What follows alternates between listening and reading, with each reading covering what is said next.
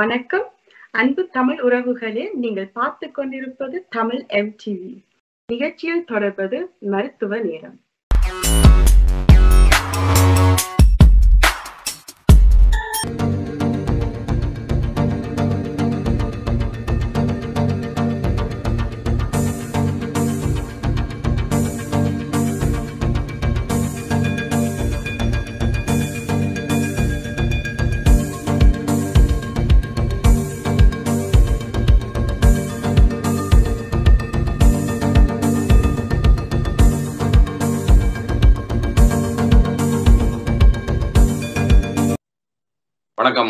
நண்பர்களே தமிழன் ஊடாக மீண்டும் ஒரு மருத்துவ நேரத்தில் சந்திப்பதன் மகிழ்ச்சி. வழமை போலவே நாங்கள் செய்கின்ற இந்த நிகழ்வானது எங்களுடைய மக்களுக்கான ஒரு விழிப்புணர்வும் புரிந்துணர்வையும் ஏற்படுத்தக்கூடிய ஒரு நிகழ்வாக இந்த மருத்துவ மருத்துவ நேரம் அமைந்திருக்கிறது. அந்த வகையிலே வழமையாகவே தமிழன்றியிலே தொடர்ந்து பல நிகழ்ச்சிகளை தந்து கொண்டிருக்கின்ற மருத்துவ வேதியியல் மற்றும் குருதி பரிமாற்ற நிகழ்வாக ஜெர்மனியிலே தகலம் பணியாற்றி கொண்டிருக்கின்ற திரு டாக்டர் காந்தரூபன் பாலசுப்ரமணியம் அவர்களை தமிழன்றி சார்பாகவும் இயக்குனர் ஸ்ரீநேசன் சார்பாகவும் வரவேற்கிறேன் வணக்கம்.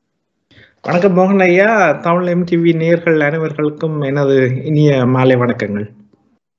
நல்ல டாக்டர் இன்றைக்கு ஒரு புதிய விடயத்தை நீங்கள் வைக்கிறதுக்காக நாங்கள் பேசி இருக்கின்றோம் அந்த விடயத்துல இந்த சொல்லு வந்து ஒரு முக்கியமான ஒரு தமிழ் சொல்லு கணையம் என்ற ஒரு விடயத்தை நாங்கள் பேச போகிறோம்.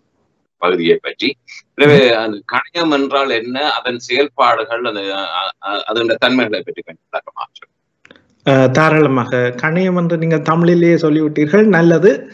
கணையம் என்றால் ஆங்கிலத்தில் பங்கேஸ் என்று சொல்வார்கள். ஜெர்மன் மொழியிலும் அதை பங்கேஸ் என்றான் சொல்வார்கள். சில எழுத்து வித்தியாசங்கள் இருக்குது ஒழிய. மற்றும்படியே ஒலியை கேட்கும்போது பங்கேஸ் என்றான் ஆங்கிலத்திலும் ஜெர்மன் மொழியிலும் சொல்வார்கள். நாங்கள் தமிழிலேயே கதைப்போம். கணையம். கணையம் என்றால் பலருக்கு தெரியாது. என்ன உறுப்பண்டு ஏன் அது அவ்வளவு முக்கியம் என்று பலருக்கு தெரியாது. ஆனால் நான் இப்ப நீரிழிவு நோய் சர்க்கரை வியாதி இன்சுலின் என்று சொன்னால் உடனே உங்களுக்கு எல்லாருக்கும் அஹ், தெரியும் அது என்ன வியாதி அண்டு அஹ், இந்த இன்சுலின் என்ற பொருளை தயாரிக்கின்ற உறுப்பே இந்த கணையம்தான் ஆனால் இன்சுலினை மாத்திரம் தயாரிப்பது மாத்திரம் மாத்திரமல்லாது அது நமது செமிபாட்டுக்கு தேவையான பல அமிலங்களையும் தயாரிக்கின்றது. அதாவது நமது உடலில் நாங்கள் சாப்பாடை உட்கொள்ளும் போது வாய்ப்பகுதியில் பல்களால் கடித்து உணவை சிறிதாக்கின்றோம் அந்த உணவு வந்து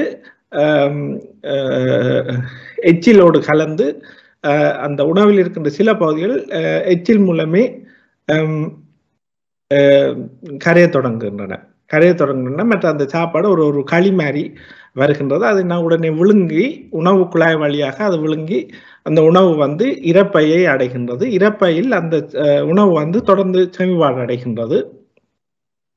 அஹ், இறப்பையை தாண்டிய பின்பு சிறுகுடலுக்கு நமது உணவு செல்கின்றது. சிறுகுடலுக்கு செல்லும் போது அஹ், இந்த கணியம் என்ற உறுப்பு வந்து இறப்பை முடிகின்ற இடத்தில் கல்லீரலுக்கு பகுதி கல்லீரலுக்கு அருகாமையில் சிறுகுடலை அண்டி உள்ள ஒரு சுரப்பி இந்த கணையமுடன் என்ன செய்கின்ற என்ன செய்கின்ற என்றால் அஹ், தான் தயாரித்த அமிலங்களை சிறுகுடலுக்குள் விடுகின்றது. இதில் என்ன விசேஷம் என்றால் கணையத்தின் நாளம் சிறுகுடலில் போய் முடிகின்ற இடத்தில் பித்தப்பையின் நாளம் வந்து அந்த நாளத்தோட ஒன்று சேர்ந்து ரெண்டு நாளங்களும் ஒரு நாளமாக ஒரு நாளமாகி சிறுகுடலில் போய் முடிகின்றன.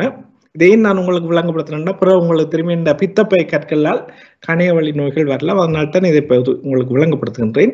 உங்களுக்கு இப்போது தற்போது நமது நேர்களுக்கு முக்கியமாக அறிய வேண்டிய விடயம் நமது செமிபாட்டுக்கு தேவையான அமிலங்களை தயாரிக்கின்ற உறுப்பு கணையம்.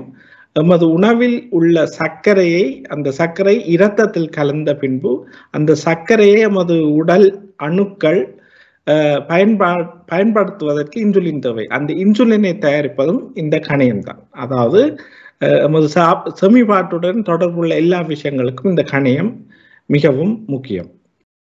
நமது நேர்களுக்கு இது இலகுவாக புரிவதற்காக வேண்டி நான் ஒரு படம் மூலம் உங்களுக்கு அதை காட்டி விளக்கலாம் என்று நினைக்கின்றேன்.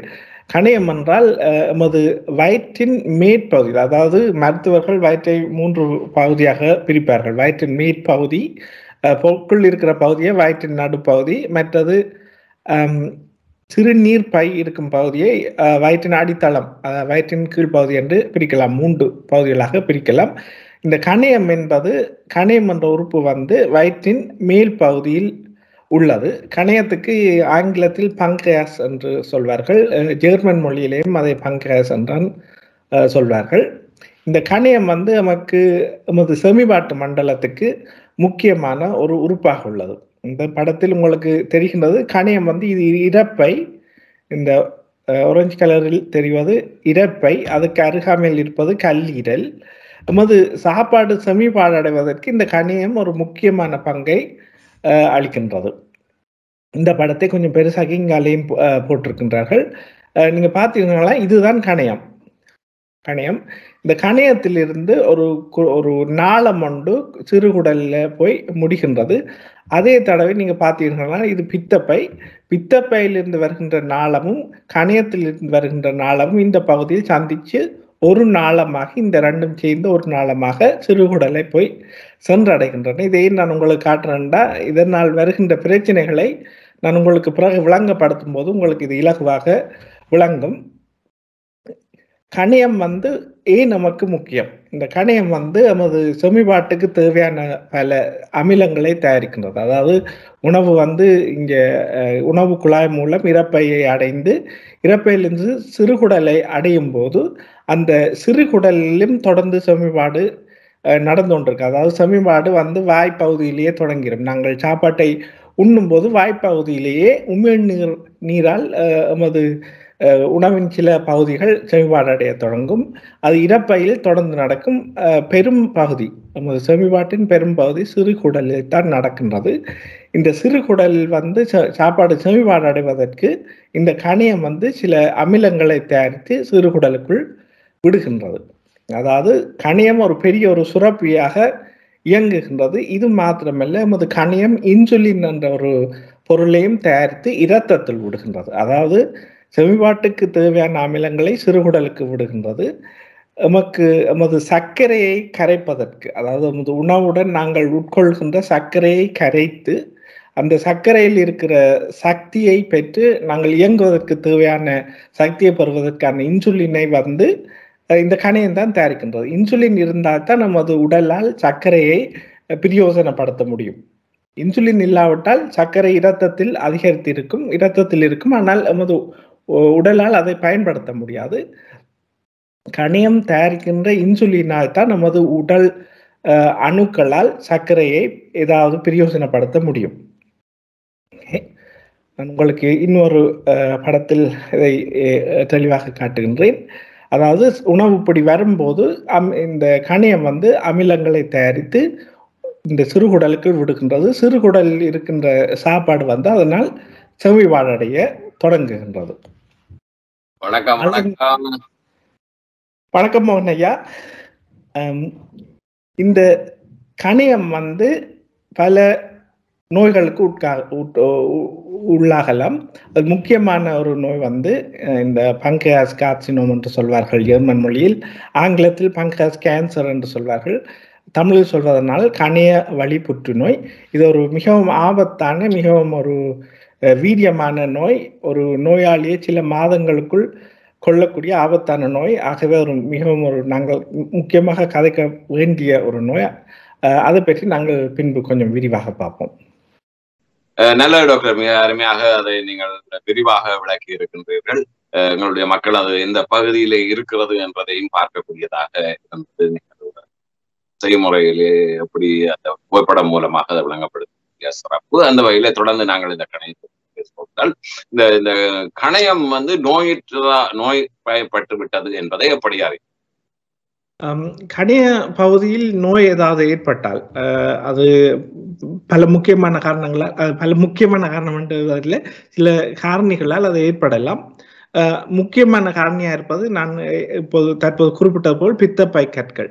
அஹ், பித்தப்பையில் ஏற்படுகின்ற கற்கள் வந்து அந்த பித்தப்பை நாள வழியால் போய் இந்த கணையத்தின் நாளம் இருக்கிற பகுதியை அடைக்கும் போது கணையம் தயாரிக்கின்ற அமிலங்கள் எல்லாம் குடலுக்கு சிறுகுடலுக்கு செல்ல முடியாமல் கணையம் வீக்கம் அடைய தொடங்கும்.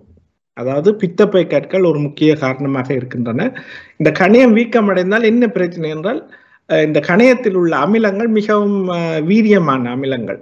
இந்த அமிலங்கள் வந்து கணையத்திலும் சிறுகுடலுக்கு மாத்திரம் இருந்தால் ஒன்றும் நடக்காது ஒரு பிரச்சனையும் இல்லை. ஆனால் இந்த அமிலங்கள் கணையத்தை விட்டு வெளியேறினால் அது ஒருவருக்கு ஆபத்து. ஏனென்றால் இந்த அமிலங்கள் வந்து உள் உறுப்புகளை எல்லாம் கரைக்கக்கூடியன. நமது உடலுக்குள் உள்ள புரதங்களை எல்லாத்தையும் கரைக்கக்கூடிய தன்மை வாய்ந்தன. அதாவது எமது உடல் தன்னை தானே செவிபாடு செய்கிற மாதிரி போயிடும் ஆகவே இந்த கணைய வழி நோய்கள் மிகவும் ஆபத்தானவை. பித்தப்பை கற்கள் அதுக்கு முக்கியமான ஒரு காரணமாக காரணமாக இருக்கின்றன. அதே போல் ஒருவர் அடிக்கடி மதுபான மருந்துவராக இருந்தால் அவர்களுக்கும் இந்த கணைய வழி நோய்கள் வரலாம். இவற்றில் என்ன அறிகுறி என்று நீங்கள் கேட்டீர்களானால் நீங்கள் தற்போது என்ன அறிகுறிகள் என்று கேட்டீர்கள்? எப்படி ஒருவருக்கு தெரிய வரும் என்று என்ன அறிகுறிகள் தெரியுமென்றா அவருக்கு அந்த கணைய வழியில் இப்படி ஒரு அலட்சி ஒரு ஒரு ஒரு நோய் ஏற்பட்டால் அவருக்கு அந்த ஒரு பெலிட் கட்டின மாதிரி ஒரு நோய் ஒன்று இருக்கும். ஒரு ஒரு ஒரு பெலிட்டை இந்த வயிற்றின் மேற்பகுதியில் கட்டிட்டு இறுக்கி நல்லா இறுக்கி இழுத்தால் எப்படி இருக்குமோ அப்படி இருக்கும் அவர்களுக்கு ஆனால் கடுமையான ஒரு வலியாக இருக்கும். மற்றும் அவர்களுக்கு உணவு அவர்கள் உட்கொண்டால் அந்த உணவு ஒழுங்காக செமிபாடு அடையாததால் அவருக்கு குடல் கோளாறுகள் ஏற்படலாம். வயிற்றுப்போக்கு அதிகரிக்கலாம். வயிற்றுப்போக்கு இருக்கலாம். அல்லது அவர்களுக்கு வாய்வு பிரச்சனைகள் இருக்கலாம். இப்படி அதாவது வயிற்று பகுதியில் இன்னும் வாய்வு பிரச்சனைகள் வயிற்றுப்போக்கு இவை முக்கியமான அறிகுறிகளாக இருக்கின்றன நல்ல டாக்டர். நான் அந்த கேள்வியை தான் அடுத்து கேட்க இருந்தேன் நீங்கள் சேர்த்தே விளங்கப்படுத்தி இருக்கின்றீர்கள். அறிகுறிகள் பற்றியது நாங்கள் தொடர்ந்து பேசுவோம். இது இந்த கணையத்துல வந்து ஏதேனும் தவறு இருந்தால் ஒருவர் என்ன செய்ய வேண்டும் கணியத்தில் நோய்வாப்பட்டால் அது மிகவும் ஒரு ஆபத்தான கட்டத்துக்கு மிக விரைவாக கொண்டு செல்லலாம். ஆகவே ஒருவருக்கு அதில் சந்தேகம் இருந்தால் அவர் கணியத்தில்லாம் ஏதாவது பிரச்சனை இருக்கண்டு இருந்தால் நான் குறிப்பிட்டது போல் ஒருவர் அடிக்கடி மதுபானம் மருந்துகின்றார் அப்படியானவருக்கு திடீரென்று இந்த பகுதியில் வயிற்றின் பகுதியில் இப்படி வயிற்றை சுற்றி முதுகு மட்டும் செல்கின்ற ஒரு வலி இருந்தால் அவர் கட்டாயமாக உடனடியாக மருத்துவரிடம் செல்ல வேண்டும். இல்லாவிடில் அது உயிராபத்தில் போய் முடியலாம். நீங்கள் கரைநேரம் யோசிக்காமல் உடனே ஆஸ்பத்திரிக்கு செல்லுங்கள். அல்லது உங்களுக்கு அருகாமையில் இருக்கின்ற குடும்ப வைத்தியரிடம் செல்லுங்கள். அவர் உங்களை ஆஸ்பத்திரிக்கு அனுப்பக்கூடும். ஆமாம்.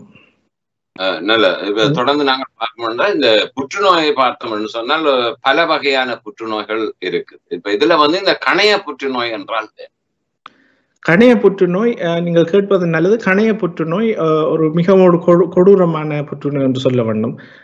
நமது உடல் எந்த பகுதியும் புற்றுநோய் உருவாகலாம். கணே வழி புற்றுநோய் மிகவும் ஒரு ஆபத்தான ஒரு புற்றுநோய் என்று சொல்ல வேண்டும். ஏனென்றால் அதன் அறிகுறிகள் உடனே தெரியாது. அந்த அந்த புற்றுநோய் ஒரு குறிப்பிட்ட அளவுக்கு மீறி வளர்ந்தா பின்புதான் அறிகுறிகள் தெரிய வரும். அப்படி அறிகுறிகள் தெரிகின்ற இடத்தில் வந்து அதை சிகிச்சை செய்வதற்கான நேரம் போய்விடும். அதாவது அந்த புற்றுநோயை ஆரம்பத்திலே கண்டுபிடித்தால் அதை சத்திர சிகிச்சை மூலம் வெட்டி எடுத்துடலாம் ஆனால் என்ன பிரச்சனை என்றால் அது எந்தவித அறிகுறியும் காட்டாது தொடக்கத்தில் ஒருவருக்கு ஆக காலம் கடந்த பின்புதான் அவருக்கு அறிகுறிகள் தெரிய தொடங்கும். அப்படியானவர் மருத்துவரிடம் போனால் அநேகமாக மருத்துவரால் அவரை காப்பாற்ற முடியாது. எல்லா நோய்களுக்கும் பொருத்தமான விஷயம்தான் இது இங்கேயும் நாங்கள் பார்க்க வேண்டும். வரும் முன்னே காப்பது நல்லது. எப்படி அம்மை நாங்கள் பாதுகாக்கலாம். கணைய வழியில புற்றுநோய் வராமல் இருக்கிறதுக்கு நாங்கள் எப்படி அம்மை பாதுகாக்கலாம்? அதுக்கு நாங்கள் அது இந்த காரணிகளை தெரிந்திருக்க வேண்டும். ஆமா இந்த கணைய புற்றுநோய் வந்து இந்த எப்படி கண்டறியப்படுகிறது? ஆமா ஆமாம். கேட்டது நல்லது. கணைய வழி புற்றுநோய் எப்படி கண்டறியப்படுகின்றது என்றால் ஒருவருக்கு இப்படி ஏதாவது அறிகுறிகள் இருந்தால் அவருக்கு வயிற்றுப்பாதைகள் நோ அல்லது அவருக்கு அவற்றை எடை மிக வேகமாக குறைகின்றது அவர் சாதாரணமாக சாப்பிடுகின்றார் என்றாலும் அவற்றை எடை வேகமாக குறைகின்றது இப்படியானவர்களுக்கு அநேகமாக அவர்கள் மாமிசம் அல்லது மீன் விரும்பி சாப்பிடுவர்களாக இருந்தாலும் அவர்களுக்கு இதில் கணைய வழியில் நோய் வாய்ப்பட்ட அவர்களுக்கு அதில் மனம் இருக்காது இறைச்சி அல்லது மீன் சாப்பிட அவர்களுக்கு மனம் இருக்காது இப்படியான அறிகுறிகள் இருந்தால் கட்டாயமாக மருத்துவருடன் செல்ல வேண்டும். மருத்துவர் இந்த இவர் நோயாளி சொல்ற விஷயங்களை வச்சே அவருக்கு ஒரு சந்தேகம் வருமா? இவருக்கு கணையத்திலான் புற்றுநோய் இருக்கலாம் உண்டு உடனே நோயாளி என்ன மருத்துவர் என்ன செய்வார் என்றால் உல்ட்ரா சவுண்ட் செய்வார். உல்ட்ரா சவுண்ட் மூலம் கணையத்தை அவர் பார்க்க முடியும். இல்லை என்ன பிரச்சனை என்றால் கணையம் வந்து வயிற்றின் கொஞ்சம் பின்பகுதியில் இருக்குது. அதாவது வயிற்றின் மேலே கொஞ்சம் பின்னுக்கு இருக்குது. அதனால் உல்ட்ரா சவுண்டால் அதை பார்ப்பது கொஞ்சம் கடினம். ஆகவே எம்ஆர்டி அல்லது சிடி என்று சொல்வார்கள். மேக்னெட் ரெசனான்ஸ் டோமோகிராஃபி அதை சுருக்கமாக எம்ஆர்டி என்று சொல்வார்கள். அல்லது கம்ப்யூட்டர் டோமோகிராஃபி கம்ப்யூட்டர் டோமோகிராஃபியை சுருக்கமாக சிடி என்று சொல்வார்கள். இதை செய்வார்கள். இது செய்வதன் மூலம் ஒருவருக்கு கணைய வழியில புற்றுநோய் கணையத்தில் புற்றுநோய் இருக்கின்றதா என்பதை கண்டுபிடிக்க முடியும். நல்லது. என்னடா இப்ப நீங்கள் சொன்னது போல அறிகுறிகள் தென்படாது. ஒரு முற்றும் மட்டும் எண்ணெய்க்குள்ள வந்து ஒரு ஆபத்தான சூழல்லாம் அதுல இருக்கிறது. இன்னொரு விடயம் இன்னொரு விடயம் நீங்கள் கேட்டிருந்தீர்கள் என்ன காரணங்கள் இருக்கலாம் என்று. முக்கியமான காரணங்கள் வந்து மரபணு. அதாவது ஒருவருடைய குடும்பத்தில் பலருக்கு கணைய வழியில புற்றுநோய் வந்தது என்றால். உதாரணமாக என்னுடைய தகப்பனாருக்கு புற்று கணைய வழியில் கணையத்தில் புற்றுநோய் வந்தது என்னுடைய தாத்தாக்கு கணையத்தில் புற்று வந்த புற்றுநோய் வந்தால் எனக்கும் ஒரு குறிப்பிட்ட வயதில் அது வருவதற்கான ஆபத்து அதிகம். இது மாத்திரமல்ல இன்னும் பல காரணங்கள் இருக்கின்றன. மதுபானம் அதிகம் அருந்துவது ஒரு முக்கியமான காரணம். அது அதனுடன் சேர்ந்து புகைப்பது. புகைப்பது கிட்டத்தட்ட எல்லா புற்றுநோய்களையும் உருவாக்கலாம். அதே போல் அது கணைய புற்றுநோயையும் உருவாக்கலாம். இவை முக்கியமான காரணிகளாக இருந்தன. இதை இதை இந்த விஷயங்களை நீங்கள் தவிர்த்தால் நீங்கள் கணைய புற்றுநோய் வருவதிலிருந்து உங்களை கொஞ்சம் பாதுகாக்கலாம். மரபணு அப்படி இருந்தால் நீங்கள் ஒன்றும் செய்ய இல்லாது ஆனால் உங்களோட உங்களோட தவப்பன் அல்லது தாய் வழி சொந்தங்களை பாருங்கள். அப்படியா உங்களோட குடும்பத்தில் அநேகமானவருக்கு கணையத்தில் புற்றுநோய் வந்தால் நீங்கள் கொஞ்சம் கவனமாக இருக்கணும். உங்களுக்கு சின்ன ஏதாவது பிரச்சனை வந்தாலும் உடனே போய் மருத்துவருடன் செக்அப் பண்ணுறது நல்லது. இப்ப இந்த இந்த கணைய புற்றுநோய்க்கு வந்து இந்த என்னென்ன முறைகள்ல சிகிச்சை அளிக்கப்படுகிறது? சத்திர சிகிச்சையா? அல்லது இன்ஜெக்ஷன் மூலமாக ஊசி மருந்து அப்படியே என்ன இதுல சிகிச்சை அளிக்க கணைய புற்றுநோய்க்கு முதன்மையான சிகிச்சை வந்து சத்திர சிகிச்சை தான். அதாவது கணையத்தில் ஒருவருக்கு புற்றுநோய் இருந்தென்றால் உடனடியாக செய்கின்ற சிகிச்சை சத்திர சிகிச்சை தான். அதாவது அதை வெட்டி எடுப்பது எப்ப சத்திர சிகிச்சை செய்ய மாட்டார்கள் என்றால் அந்த புற்றுநோய் ஏற்கனவே உடல் முழுக்க பரவி விட்டது உங்களுக்கு தெரியும் பெரும்பாலான புற்றுநோய்கள் வந்து அவை ஒரு குறிப்பிட்ட அளவுக்கு மீறி வளர்ந்த பின்பு அந்த புற்றுநோயிலிருந்து சில அங்கங்கள் பிரிஞ்சு இரத்தம் மூலம் உடல் முழுக்க பரவி வேறொரு இடத்தில் போய் தங்கி அங்கே திருப்பி வளரலாம். அதாவது இப்படியான ஒரு கட்டம் வந்த பின்பு ஒருவருக்கு அநேகமாக சத்திர சிகிச்சை செய்தும் பலன் இல்லை. ஆகவே அப்படியான நிலையில் சத்திர சிகிச்சை செய்ய மாட்டார்கள். ஆனால் அந்த புற்றுநோயை ஒரு நேரத்துக்கு கண்டுபிடித்தால் சத்திர சிகிச்சை தான் முதன்மையான சிகிச்சை வழி. அப்படி சத்திர சிகிச்சை செய்த பின்பும் சிலருக்கு இந்த கதிரியக்க சிகிச்சை அல்லது இந்த இன்ஜெக்ஷன் சிகிச்சை அதாவது ஷீமோதெரப்பி என்பார்கள் இன்ஜெக்ஷன் சிகிச்சை போட வேண்டி இருக்கலாம். அதாவது அந்த புற்றுநோயின் அளவை பொறுத்துள்ளது. அதுக்கேற்ற மாதிரி தான் சிகிச்சை மடங்கும். ஆனால் புற்றுநோய் கண்டுபிடித்தால் முதல் செய்கிற விஷயம் சத்திர சிகிச்சை.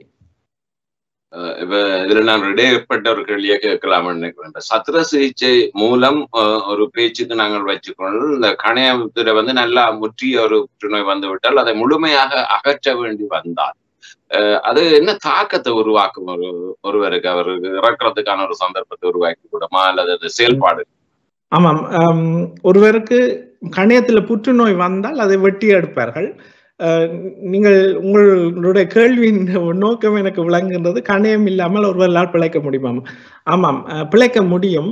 ஏனென்றால் கணையம் எந்த அமிலங்களை தயாரிக்கின்றதோ அந்த அமிலங்களை தற்போது நவீன மருத்துவத்தில் செயற்கை முறையில் தயாரிக்கின்றார்கள். அதாவது ஒருவர் அப்படி ஆபரேஷன் செய்யப்பட்ட ஒருவருக்கு அவர் வந்து அவற்றை கணையத்தில் ஐம்பது வீதம் அறுபது வீதத்துக்கு மேலே வெட்டி எடுத்து விட்டார்கள் என்றால் அந்த மிச்சம் இருக்கிற கணையத்தால் போதிய அளவு அமிலங்களை தயாரிக்க முடியாது. ஆகவே அப்படிப்பட்டவர்கள் அவர்கள் சாப்பாடு உட்கொள்ளும் போது அந்த செயற்கையாக செய்த அந்த செமிபாட்டுக்கு தேவையான விஷயங்களை குளிசை மூலம் விழுங்க வேண்டி வரும். அப்படியானவர்கள் முடிந்த அளவு ஒரு நாளைக்கு மூன்று தரம் சாப்பிடாமல் சாப்பாட்டை கொஞ்சம் பிரித்து அஞ்சில் இருந்து ஆறு தரம் ஒரு நாளைக்கு சாப்பிட்ற மாதிரி பிரிக்கணும். அவர்கள் ஒருக்காக சாப்பிடும் போதும் அதை உட்கொள்ள வேண்டும். இதில் இன்னொரு விடயம் என்னவென்றால் கணைய கணையமும் கல்லீரலும் மிகவும் சக்தி வாய்ந்த உறுப்புகள். கணையத்தில் மருத்துவர்கள் ஒரு முப்பது வீதம் அல்லது ஒரு இருபது வீதம் தான் வட்டி எடுத்தால் அப்படியானவர்கள் இப்படி குளிசை போடணும் ஒன்று இல்லை. ஆனால் கணியத்தை ஒரு ஐம்பது கணியத்தில் ஒரு ஐம்பதுல இருந்து எழுபது வீதத்துக்கு மேல் வட்டி எடுத்தால் அப்படியானவர்கள் இப்படி மருந்தை போட வேண்டி வரும். நல்ல நல்ல ஒரு என்றால் இப்ப கன பேருக்கு இந்த கேள்வி மனதிலே எழலாம். தச்சமே தங்களுக்கு நோய் முற்றி விட்டதுண்டா முழுக்க எடுத்து விட்டா நாங்கள் உயிர் வாழ்வோமா இல்லையா? சந்தேகம் மனதுக்குள்ளே வந்துவிடும். அதுக்காக அந்த கேள்வியை நான் இதில் இன்னொரு முக்கியமான விடயம் இந்த மருந்துகளை எடுத்தாலும் அது இயற்கையை போல் வராது. அதாவது இயற்கையான ஒரு கணையம் தயாரிக்கின்ற அமிலத்தை போல் வராது. இந்த குளிசிகளை விழுங்கினாலும் அப்படியானவர்களுக்கும் தொடர்ந்து வயிற்று பிரச்சனைகள் அதுகள் இதுகள் ஏதாவது இருக்கும்.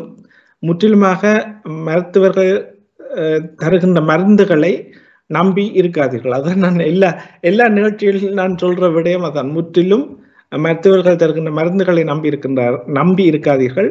முட் பாதுகாப்பு தான் எல்லா சிகிச்சையிலையும் சிறந்த சிகிச்சை மதுபானம் மருந்துவதை குறையுங்கள் இல்லை முற்றிலும் நிப்பாட்டுங்கள். உங்களுக்கு கல்லீரலில் ஏதாவது பிரச்சனை இருந்தால் உடனே போய் மருத்துவரை சந்திச்சு எண்டால கல்லீரலில் பித்தப்பையில் கற்கள் ஏற்பட்டால் அது வந்து கணையத்தை போய் தாக்கலாம். ஆகவே நேரத்துக்கு உங்களை கொஞ்சம் கவனித்துக் கொள்ளுங்கள். நல்ல டாக்டர் நாங்கள் என்ன ஒரு புதிய சொல் நாங்கள் ஏற்கனவே ஒரு சில நிகழ்ச்சிகளிலே இந்த சொல்லை பயன்படுத்தி இருக்கிறோம். இந்த கடுமையான கணைய அலட்சி அலட்சி என்றால் என்ன? அலட்சி என்றால் கேட்கறதுக்கு சுழற்சி மாதிரி இருக்குது. அலட்சி என்றால் அது ஆங்கிலத்தில் இன்ஃப்ளமேஷன் என்று சொல்வார்கள் ஜெர்மன் மொழியில் என்சுண்டுங் என்று சொல்வார்கள். அலர்ச்சி என்றால் ஒரு ஒரு உறுப்பிலோ இல்லை ஒரு பகுதியிலோ ஒரு வித எரிசல் ஏற்பட்டு புண் ஏற்பட்டால் அதை அலர்ச்சி என்று தமிழில் சொல்வார்கள்.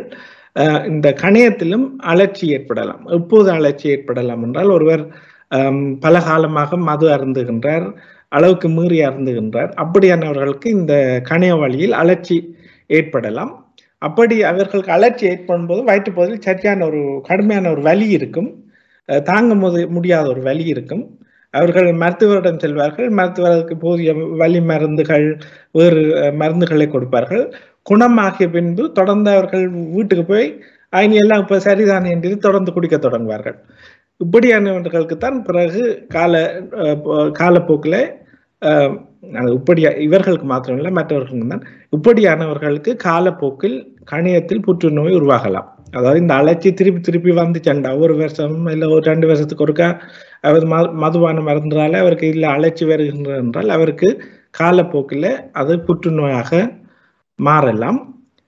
இந்த அழற்சி வந்து அல்லது இந்த பித்தப்பை கற்களாலும் அழற்சி உருவாகலாம் இதுல இன்னொரு கேள்வியை நான் கேட்கலாம் நினைக்கிறோம்? சொன்ன இந்த இந்த அலர்ச்சி வந்து உடலில் வேறு வேற பகுதிகளிலேயும் வருவதற்கு சந்தர்ப்பம். ஆம் அலட்சி என்றால் என்னென்று சொல்வது? அலட்சி என்றால் ஒரு ஒரு குறிப்பிட்ட நோய் அல்ல அது எந்த பகுதியிலும் உருவாகலாம். உதாரணமா உங்களுக்கு ஒரு காயம் எந்த பகுதியிலும் உடம்பு உடல்ல எந்த பகுதியிலும் காயம் உருவாகலாம். அதுபோல் அலட்சி என்ற சொல் வந்து ஒரு ஒரு ஒரு நிலைமையை குறிக்கின்ற ஒரு சொல். அதாவது நோயின் நோய் பல காரணங்களால் அலட்சி வரலாம். உதாரணமாக நான் வந்து நெடு இதுல சொரிஞ்சோன்னுண்டா இதுல எனக்கு அலட்சி வரலாம். அல்லது சிலர் வந்து அடிக்கடி சிகரெட் பார்த்துவர்களால் அவர்களுக்கு நெடுக தொண்டையில் ஒரு கரகரப்பு இருக்கும். அதுவும் ஒரு வித அலர்ச்சி தான். அதாவது நமது உடலில் ஒரு வித எரிசல் ஏற்பட்டு அதில் லேசான ஒரு ஒரு புண் வந்தால் அதைத்தான் அலர்ச்சி என்று சொல்கின்றோம். கணியத்தில் வருகின்ற அலர்ச்சிக்கு முக்கியமான காரணம் பித்தப்பை கற்களும் மதுபானம் மருந்துவதும் அதை முடிந்த அளவு நாங்கள் தவிர்க்க வேண்டும். இதுல வந்து இந்த அலட்சியில வந்து நாள்பட்ட கணைய அழற்சி என்று சொல்லப்படுகிறது. அது என்ன மாதிரி? ஆம். நல்ல கேள்வி. நாள்பட்ட மருத்துவர்கள் அக்யூட் அல்லது குரோனிக் என்று தண்டு விதமாக நோய்களை பிரிப்பார்கள். அக்யூட் என்றால் திடீரென்று வருகின்ற திடீரென்று தீவிரமாக வருகின்ற நோயை அக்யூட் என்று சொல்வார்கள். அதாவது எனக்கு இதுவரை எந்தவித பிரச்சனையும் இல்லை. திடீரென்று எனக்கு இல்லை நோய் தொடங்குதுண்டா கணையத்தில் அழற்சி இருக்கலாம். அதை அக்யூட் அல்லது திடீரென்று வருகின்ற தீவிர நோய் என்று சொல்வார்கள். இதே நோய் வந்து எனக்கு பல காலம் பல நாட்கள் இருந்தால் அதை குரோனிக் என்று சொல்வார்கள். தமிழில் சொல்வார்னால் நாட்பட்ட நோய் என்று சொல்வார்கள். நாட்பட்ட நோய் வருவதற்கும் அந்த திடீரென்று வருகின்ற நோய்க்கும் நாட்பட்டு வருகின்ற நோய்க்கும் ஒரே காரணம் தான். அதாவது மதுபானம் அருந்துதல் புகைப்பிடித்தல் போன்ற காரணங்களால் மற்றது கோப்பி அதிகம் குடிப்பவர்கள் இது வரலாம் என்று சொல்கின்றார்கள். ஆனால் அது இன்னும் ஊர்ஜிதப்படுத்தப்படவில்லை. இப்படியான பிரச்சனைகளால் ஒருவருக்கு நாட்பட்ட கணைய நோய் உருவாகலாம்.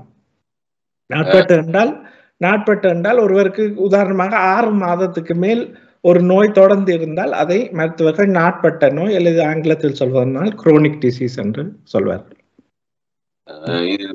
இதே நேரம் வந்து இந்த இப்படி ஒருவருக்கு வந்து எந்த சந்தர்ப்பத்துல வந்து சிகிச்சை செய்ய வேண்டும்? இந்த கணைய நோய்கள் சாதாரணமாக நோய் இருந்தால் உடனே சிகிச்சை செய்ய தொடங்குவார்கள். அதாவது பொறுத்திருந்து பார்ப்பதில்லை.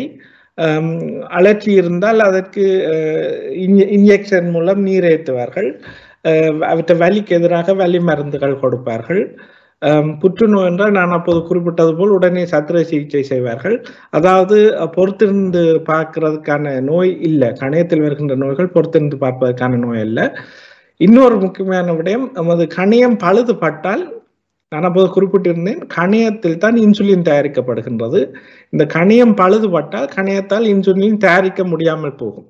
இன்சுலின் த நமது உடம்பில் போதிய அளவு இல்லாவிட்டால் என்ன நோய் வரும் என்று நம்மில் அநேகமானவருக்கு தெரியும். அதுதான் சர்க்கரை வியாதி என்று சொல்கின்றோம். சர்க்கரை வியாதி வருவதற்கு பல காரணங்கள் இருக்கின்றன. கணியம் ஒழுங்காக வேலை செய்யாவிட்டாலும் சர்க்கரை வியாதி தான் இறுதியில் வரும். ஏனென்றால் இன்சுலின் போதாமையால் சர்க்கரை உடலில் ஏறும் உடன் இரத்தத்தில் ஏறும். ஆகவே இப்படியானவர்கள் கணியம் முழுசாக பாதிக்கப்பட்டவர்கள் இன்சுலினும் அடிக்க வேண்டி வரும் காலப்போக்கில். நல்லது. இப்ப இந்த கணைய நோயினாலோ அல்லது அதன் அறுவை சிகிச்சையினாலோ வந்து வரக்கூடிய சிக்கல்கள் என்ன? அல்லது நோய்கள் அல்லது பாதிப்புகள் பக்க விளைவுகள் எடுத்துக்கொள்ளலாம் ஆம் எல்லா சிகிச்சை முறைக்கும் பக்க விளைவுகளும் இருக்கலாம். ஒருவருக்கு சத்திர சிகிச்சை செய்தால் அந்த சத்திர சிகிச்சை மூலம் பிற உறுப்புகள் அதாவது சத்திர சிகிச்சை செய்பவரின் திறமையும் பொறுத்துள்ளது. பிற உறுப்புகளில் பாதிப்பை ஏற்படலாம் அல்லது ஆனால் அது பெரிய ஆபத்தல்ல. என்றால் அநேக மாணவர்கள் நல்ல அனுபவம் வாய்ந்த சத்திர சிகிச்சையாளர்கள் அந்த சத்திர சிகிச்சை செய்வார்கள். அல்லது ஒருவருடைய கணியம் வந்து ஐம்பதுல இருந்து எழுபது வீதத்துக்கு மேல் வெட்டி எடுக்கப்பட்டால் அப்படியானவர்கள் இன்சுலின் அடிக்க வேண்டி வரும். மற்றது அவர்கள் சாப்பிடும்போது அந்த கணியம் தயாரிக்கின்ற அமிலங்களை செயற்கை முறையாக அவர்கள் விழுங்க வேண்டி வரும். இதுதான் முக்கியமான பக்க விளைவுகள் நான் முதலே கேட்டது போல இந்த கணையம் இல்லாமல் ஒருவர் வாழ முடியுமா என்றதுக்கான பதிலை நீங்கள் சுருக்கமாக சொல்லி இருந்தீர்கள் அதை பற்றி என்னமே ஆம் கணையம் இல்லாமலும் தற்போதைய மருத்துவத்தில் கணையம் இல்லாமலும் ஒருவர் வாழலாம். ஆனால் கணையத்துடன் வாழ்வது போல் அது இருக்காது. ஏனென்றால் அவர் இந்த கணியம் தயாரிக்கின்ற பொருள்கள் எல்லாவற்றையும் அவர்கள் குளிச்சை மூலம் எடுக்க வேண்டி வரும். கணியம் இன்சுலின் என்பது ஒரு ஹோமோன் அதை தமிழில் இயக்கி என்று சொல்வார்கள் ஹோமோன் என்றால் தமிழில் இயக்கி. அதாவது இன்னொரு ஒரு விஷயத்தை இயக்குகின்ற பொருட்களை இயக்கிகள் அல்லது ஆங்கிலத்தில் ஹோமோன் என்று சொல்வார்கள். இன்சுலின் ஒரு ஹோமோன் இந்த ஹோமோன் இல்லாவிட்டால் ஒருவரால் அவற்றை உடம்புல இருக்கிற சர்க்கரையை பிரயோசனப்படுத்த முடியாமல் இருக்கும். சர்க்கரை வந்து நமது உடலுக்கு தேவையான ஒரு எரிபொருள். காருக்கு வந்து எப்படி பெட்ரோல் தேவையோ அதே போல் நமது உடலுக்கு வந்து சர்க்கரையும் ஒரு முக்கியமான எரிபொருள். சர்க்கரையை வந்து நமது உயிரணுக்கள் வந்து எரிச்சு அந்த எரி எரிவின் போது ஏற்படுகின்ற சக்தியைத்தான் நாங்கள் நமது உடல் இயக்கத்துக்கு பயன்படுத்துகின்றோம். ஆனால் அது நமது உயிரணுக்களுக்குள் இந்த சர்க்கரை செல்வதற்கு இன்சுலின் தேவை. இன்சுலின் என்பது ஒரு ஒரு துறப்பு மாதிரி. இன்சுலின் இருந்தால்தான் சர்க்கரையால் நமது உயிர் அணுக்களுக்குள் செல்ல முடியும். இன்சுலின் இல்லாவிட்டால் சர்க்கரை என்ன நடக்கும்? இரத்தத்தில் கூட தொடங்கும். அது உயிரணுக்களுக்குள்ள போகாது இரத்தத்துக்குள்ள கூட தொடங்கும். அப்படி கூட்டினால் அது ஒரு ஆபத்தான நிலைக்கு கொண்டு போகலாம். கணியம் வேலை செய்யாதவர்களுக்கு இன்சுலின் இல்லாதால் அவர்கள் இன்சுலின் அடிக்க வேண்டி வரும். இப்படி பல மாற்றங்கள் ஏற்படலாம். உங்களுக்கு ஏற்கனவே நீங்க அடிக்கடி மருந்து மதுபானம் அருந்துபவர்கள் அருந்துபவர் உங்களுக்கு ஏற்கனவே கணையத்துல உங்களுக்கு இப்படி ஒரு பிரச்சனை வந்துச்சுண்டா ஒருக்கா வந்தாலும் நீங்க எதிர்காலத்துல ஒரு துளி மதுபானமும் அருந்தாமல் இருப்பது நல்லது. ஏனென்றால் இல்லாவிட்டால் உங்களுக்கு அடிக்கடி இந்த பிரச்சனை வரும். அடிக்கடி உங்களுக்கு இந்த பிரச்சனை வந்தால் அதாவது அலட்சி என்று சொல்லி சொல்லியிருந்தீர்கள். ஒவ்வொரு வருஷமும் இல்லை ஒரு ரெண்டாவது வருஷம் ஒருவருக்கு கணையத்தில் அவர் தண்ணி அடிப்பதால் அழைச்சி வந்து சென்றால் அது கால பகுதியில் புற்றுநோயாக மாறலாம். புற்றுநோயாக மாறினால் அதுக்கு சிகிச்சை செய்வது மிகவும் கடினம். நான் குறிப்பிட்டது போல் கணைய வழி புற்றுநோய்கள் மிகவும் ஆபத்தான புற்றுநோய்கள் இந்த நவீன மருத்துவத்திலும் குணப்படுத்துவதற்கு மிகவும் கஷ்டமான புற்றுநோய் என்றால் அதுவும் ஒன்றுதான். நல்லது. இப்ப ஒருவருக்கு வந்து இப்ப கணையத்துல வந்து ஒரு ஒரு பகுதி அகற்றப்பட்ட ஒருவருக்கு வந்து இந்த சக்கரை நோய் வருவதற்கான சந்தர்ப்பம் இருக்கு ஆமாம். அவர்களுக்கு கணையம் ஒரு குறிப்பிட்ட அளவு வெட்டி எடுத்தால் அதாவது கணையம் வந்து ஐம்பது வீதம் இன்னும் மிச்சம் இருக்குது. மிச்சம் ஐம்பது வீதத்தை வெட்டி எடுத்து விட்டார்கள் மருத்துவர்கள் என்றால் அவரால் அவற்றை கணையத்தால் அதை மிச்சம் இருக்கிற கணையத்தால் அந்த இயக்கத்தை தாக்க பிடிக்க முடியும். ஆனால் கணையத்தின் பெரும்பகுதியை வெட்டி எடுத்தால் போதிய அளவு இன்சுலின் மிச்சம் இருக்கிற கணையத்தால் தயாரிக்க முடியாமல் இருக்கும். அப்படி இன்சுலின் போதிய அளவு இல்லாவிட்டால் அவருக்கு சர்க்கரை வியாதி வரும்.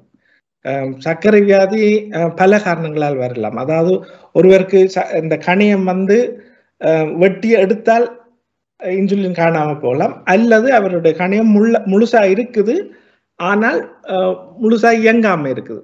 அதாவது கணையத்தின் இயக்கம் குறையும் போதும் ஒருவருக்கு சர்க்கரை வியாதி வரலாம். அதைத்தான் நாங்கள் டைப் டண்டு சர்க்கரை வியாதி என்று சொல்கின்றோம். அதாவது ஒருவருக்கு கணையம் இருக்குது அவருக்கு கணையத்தில் வேறு எந்த பிரச்சனையும் இல்லை. ஆனால் கணையத்தின் இயக்கம் வந்து அவருக்கு குறைஞ்சு கொண்டு போதும் ஒருவருக்கு வண்டி பகுதி வயிற்று பகுதியில் அதிகம் கொழுப்பு இருந்தால் அதுவும் ஒரு ஆபத்து காரணி. கொழுப்பு அதிக கொழுப்பு இருப்பவர்களுக்கும் கணையம் வந்து கணையத்தின் இயக்கம் கணையம் கெரியா பழுதடையலாம் அதிகம் வயிற்று பகுதியில் கொழுப்பு இருப்பவர்கள் கணையம் பழுதடைந்தால் அந்த கணையத்தால் இன்சுலினை தயாரிக்க முடியாமல் போகும். இன்சுலின் போதிய அளவு இருக்காது. ஆகவே அவர்களுக்கு சர்க்கரை வியாதி. இதுதான் டைப் ரெண்டு நீங்கள் எல்லோரும் மறந்து டைப் ரெண்டு சர்க்கரை வியாதி இதுதான். அதாவது கணையத்தின் இயக்கம் போதிய அளவு இல்லாமையால்தான் டைப் ரெண்டு சர்க்கரை வியாதி வருது. அவர்களுக்கு கணையத்தில் புற்றுநோய் இருக்கணுமோ வளர்ச்சி இருக்கணுமோன்ற எந்தவித அவசியமும் இல்லை. அதாவது கணைய ஃபுல்லா இயங்காம இருக்கலாம். அல்லது கணையத்தில் ஒரு பெரும்பகுதியை மருத்துவர்கள் வெட்டி எடுத்தால் அப்படியான நிலைமையிலும் போதிய அளவின்னு சொல்லி நமது உடலில் இருக்காது. ஆகவே அப்படியானவர்களும் டைப் ரெண்டு சர்க்கரை வியாதி வரலாம். இப்ப இன்னும் முக்கியமான ஒரு விடயம். இப்ப ஒருவருக்கு வந்து சத்திர சிகிச்சை செய்த பிறகு ஒருவர் வந்து இந்த டயட்னு சொல்லப்படுகின்ற உணவு கட்டுப்பாடு செய்ய வேண்டுமா? அது எப்படி கையாள வேண்டும்? ஆம். அப்படியானவர்கள் சாப்பிடும்போது அவர்களுக்கு ஒருக்காக குளிசை போட வேண்டி வரும். அவர்களின் உடலால் வந்து அந்த உணவை போதிய அளவு செவிப்பாடு செய்ய முடியாமல் இருக்கும். ஆகவே அப்படியானவர்கள் இப்போ மூன்று வேளையும் நாள் ஒரு நாளில் மூன்று வேளையும் சாப்பிடாம மூன்று வேளை சாப்பிடாம சாப்பிட கொஞ்சம் பிரித்து ஒரு நாளைக்கு சிறு பகுதிகளாக பிரித்து ஒரு நாளைக்கு அஞ்சு நேரம் அல்லது ஆறு நேரம் கொஞ்சம் கொஞ்சமாக சாப்பிடுவது நல்லது அப்படியானவர்கள். இரண்டு அப்படி என்றால் அவர்களுடைய உடலால் உணவை கொஞ்சம் ஜீரணிக்க செய்வதற்கு கொஞ்சம் இலகுவாக இருக்கும் உடலுக்கு. என்றால் கனியம் வேலை செய்தால் அவர்கள் அந்த குளிசை போட வேண்டி வரும். எல்லாவிட்டால் அவர்களுக்கு இந்த வயிற்றுப்போக்கு இருக்கலாம் கேஸ் அதாவது வாய்வு பிரச்சனைகள் அதிகரிக்கலாம் இப்படியான பிரச்சனைகள் உருவாகலாம். நல்லது. இப்ப ஒட்டுமொத்தமாக இந்த கணையம் பற்றி நாங்கள் ஒரு விளக்கத்தை பார்த்திருக்கின்றோம். நீங்கள் அறிந்த வரைக்கும் இப்போது ஜெர்மனியிலே வந்து கூடுதலான தொற்று ஏற்படுவதாக செய்திகள் சொல்லுகிறது. அப்படியான தன்மை உண்மையிலேயே இருக்கிறதா ஜெர்மனியில்?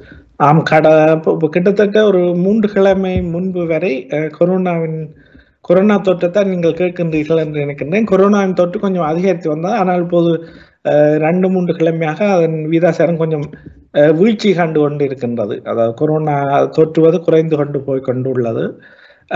இன்னொரு விடயம் தற்போது உள்ள கொரோனா வேரியன்ஸ் கொஞ்சம் வீரியம் குறைஞ்ச கொரோனா வேரியன்ஸாக உள்ளது நல்ல வழியாக. அதனால் மருத்துவமனையில் அனுமதிக்கப்படுபவர்களின் தொகையும் குறைஞ்சு கொண்டு போகின்றது. கொரோனாவால் மருத்துவமனையில் கிடப்பவர்களின் எண்ணிக்கை குறைஞ்சு கொண்டு போகின்றது. இதே தடவை நீங்கள் பார்த்தீங்கன்னா சைனாவில் சில பகுதிகளில் ஷங்காய் என்று நினைக்கின்றேன் ஷங்காய் நகரம் என்று நினைக்கின்றேன். ஷங்காயில் சில பகுதிகளை அடைத்துள்ளார்கள். அது இங்குள்ள வரியன் தான் அங்கேயும் உள்ள என்பது எனக்கு வடிவாக தெரியவில்லை. ஆனால் ஜெர்மனியின் சுகாதார அமைச்சர் என்ன சொல்லி இருக்கின்றார்? அது எவ்வளவு விதம் உண்மை என்று தெரியாது. வார இலையுதிர் காலம் கொரோனா திருப்பி கூடும் என்று சொல்கின்றார் அது எவ்வளவு விதம் சரிவரும் என்று தெரியவில்லை. ஆனால் கொரோனாவை விட உக்ரைன் பூரான் இப்போ முக்கிய செய்தித்தாள்கள் முக்கியமான விடயமாக உள்ளது. ஆகவே அது கொஞ்சம் பின்னுக்கு போய்விட்டது. ஒரு விதத்தில் கொரோனா பற்றி மக்கள் அதிகம் கலைக்காமல் இருப்பது நல்லது. ஏனென்றால் தேவையில்லாத பயங்களையும் அது உருவாக்குகின்றது. ஆகவே அதன் தாக்கம் கொஞ்சம் குறைஞ்சுண்டு போகின்றது. மருத்துவமனைக்கு செல்பவர்களின் எண்ணிக்கையும் குறைஞ்சுண்டு போகுது அநேகமானவர்கள் தடுப்பூசியும் போட்டு விட்டார்கள். ஆகவே கொரோனாவிலிருந்து வருகின்ற ஆபத்தை கொஞ்சம் குறைவாகத்தான் நான் மதிப்பிடுகின்றேன். நல்லது டாக்டர். இப்ப நீங்கள் சொன்ன மாதிரி அது இந்தியாவிலேயும் இப்ப சற்று அதிகமாக பரவுவதாகத்தான் தகவல்கள் வந்து கொண்டிருக்கு. அது ஒரு புதிய ஒரு வேரியன்ட் பரவுவதாக பார்ப்போம். இலையுதிர் காலத்தில் கூடுமென்றது ஒரு குளிர்காலத்திலே வந்து கூடுமென்ற ஒரு ஐதீகம் இருக்கிறது. மருத்துவ ரீதியாக பார்க்கும்போது இப்ப இந்தியாவில் கொரோனாவை விட இந்தியாவில் இருக்கின்ற கடும் வெப்பம் ஒரு பெரிய பிரச்சனையாக உள்ளது. நீங்கள் ஊடகவியலாளர் ஏற்கனவே நீங்கள் அறிந்திருப்பீர்கள். அங்கே இப்போது தற்போது சில பகுதிகளில் ஐம்பது கிராட் செல்சியஸ் எல்லாம் வருகின்றதா அது வந்து முக்கியமாக வயது வயோதிபர்களுக்கு வயது அதிகமானவர்களுக்கு குழந்தைகளுக்கு ஒரு ஆபத்தான விஷயம். அப்படியான நேரம் நீங்க முடிந்த அளவு வெளியில் அது இந்தியாவில் இருந்த நண்பர்கள் இதை பார்த்து கொண்டிருந்தால் முடிந்த அளவு நீங்கள் இப்போ மத்தியான நேரத்தில் வெளியால் செல்லாதீர்கள். போதிய அளவு நீரை அருந்துங்கள். இலங்கையிலும் டாக்டர் வடபகுதியிலே இந்த வெப்பம் வந்து கூடுதலாக இப்ப இருப்பதாக அங்கே இருந்து வருகிற செய்திகளும் சொல்லி சொல்லப்பட்டோம் ஒரு சில பேர் மயக்கமடைந்து அப்படியான விடயங்கள் அங்கேயும் இப்ப என்ன சொல்றது சிறிதளவிலே இந்த ஆரம்பித்திருக்கிறது. அந்த இந்தியாவில வந்து இந்த காலப்பகுதியை வந்து இந்த கத்தரி வெயில் என்று சொல்லுவார். அதுக்கு ஒரு பேரை வச்சிருக்காரு. அது வருடா வருடம் வருகிறது தான். நீங்கள் குறிப்பிட்டது போல சற்று அதிகமாகவே இருக்கிறது. என்றால் எனக்கு அதுல அனுபவம் இருக்கின்றால் ஒரு முறை நான் இந்த கத்தரி வெயில் பகுதி இந்த காலப்பகுதியில இந்தியாவில இருந்திருக்கேன். அது அனுபவம் என்னன்னா நாங்க பகல் முழுக்க வெளியிலேயே போறேன் அப்படிதான் இருக்கும். அந்த அனல் மாதிரி அனல் என்று சொல்லுவார்கள். தீ வைக்க மாதிரி இருக்கும். இப்படியான விடயங்கள் தான். அங்கங்க இந்த கிராம பகுதிகளில் வந்து சரியான வறட்சி உள்ள பகுதிகளில் வந்து கன வயோதிபர்கள் இறக்குற இதெல்லாம் அங்க சர்வசாதாரணமா வருடா வருடம் நடக்கிறோம் இந்த வருஷம் நீங்க சொன்ன மாதிரி சற்று அதிகமான வெக்கை வந்து வானவியல் விஞ்ஞானிகளின் கூற்றுப்படி இது கடைசி வருஷம் இல்லை இது இப்படியான வெப்ப வெப்பம் இனி வருகின்ற வருடங்களில் இன்னும் மோசமடையலாம். அல்லது தொடர்ந்து இப்படியே இருக்கலாம்.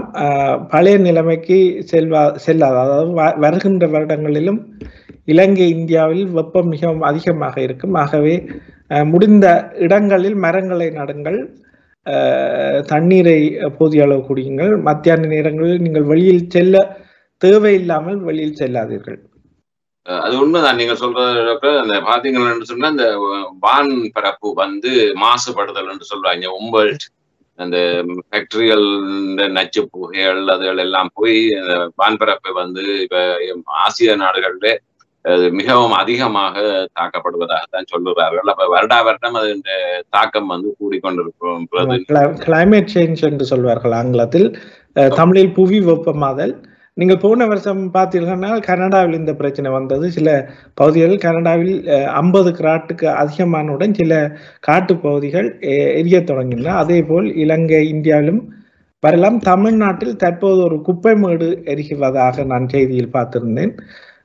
என்ன பிரச்சனை என்றால் குப்பமேடு கணக்க நச்சு பொருட்கள் உள்ள ஒரு இடம். அந்த பகுதியில் எரிய தொடங்கினால் அதனால் வருகின்ற அந்த நச்சு வாயுக்கள் அந்த நச்சு பொருட்கள் வந்து காற்று மூலம் அதை சுற்றியுள்ள பகுதிகளுக்கு பரவலாம். ஆகவே முடிந்த அளவு இப்படி குப்பை மேடு அதிகம் உள்ள பகுதிகளில் அருகாமையில் நீங்கள் இருக்காதீர்கள். ஏனென்றால் நாங்கள் குப்பை மேடு இருக்கின்ற பகுதிகளில் கிருமிகள் எல்லாம் அதிகம் இருக்கும். இந்த கிருமிகள் வந்து மெட்டேன் என்ற மீதேன் என்ற காசை மெட்டான் என்று சொல்வார்கள் ஆங்கிலத்தில்.